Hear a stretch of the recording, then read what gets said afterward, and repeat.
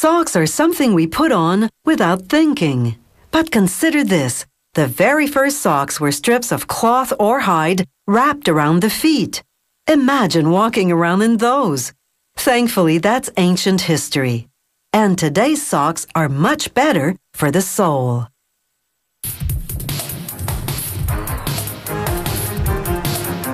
With so many styles and fibers for socks these days, it's no problem putting your best foot forward. But you have to step into this room of knitting machines to truly understand what a science sock making has become.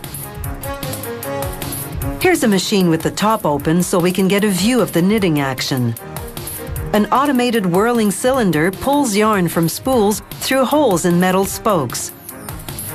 Little hooks on the needles grab the yarn. The hooks have latches.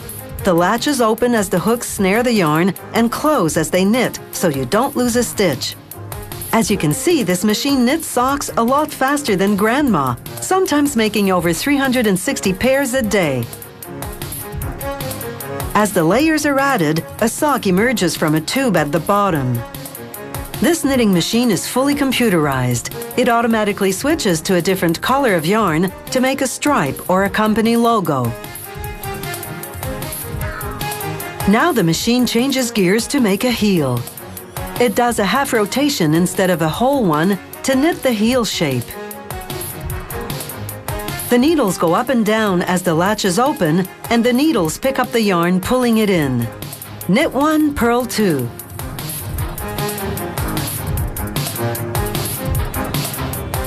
Here it is in slow motion. This is about the speed at which a human could knit, but this machine normally runs at a speed of over 200 revolutions a minute.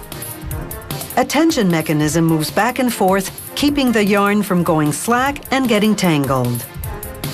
Now a sock shoots out of a vacuum tube, and a worker turns it inside out. She sews the toe closed and cuts off the extra fabric. Then she turns the sock right side out again, and it's sucked up by the vacuum. Next, the vacuum tube deposits the sock into a bin. The trapdoor on the end of the tube ensures that vacuum pressure isn't lost.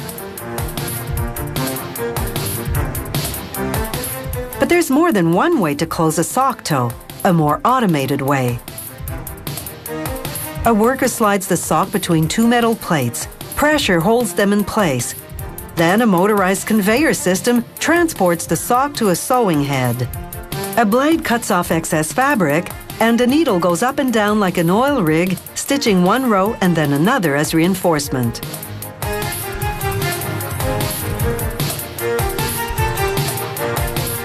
This automated system produces a finer seam than a sewing machine that's run manually. Now that the toe is closed, a robotic arm moves in and feeds the sock to a set of rollers. A blade pushes the sock down while the rollers turn the sock right side out. A vacuum chute fires the sock into a bin.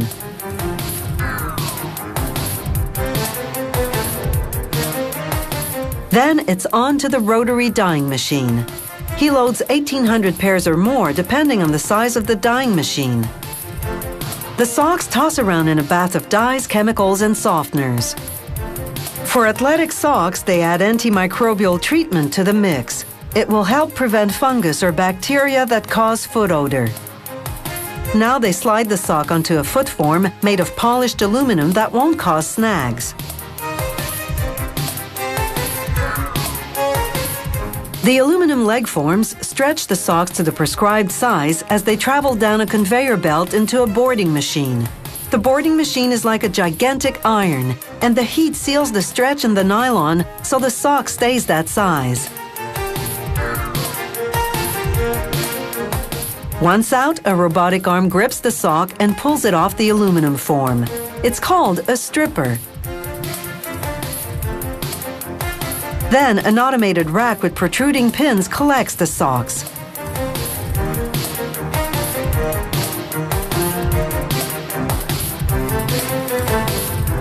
The worker removes them a bunch at a time, and the socks are ready for packaging.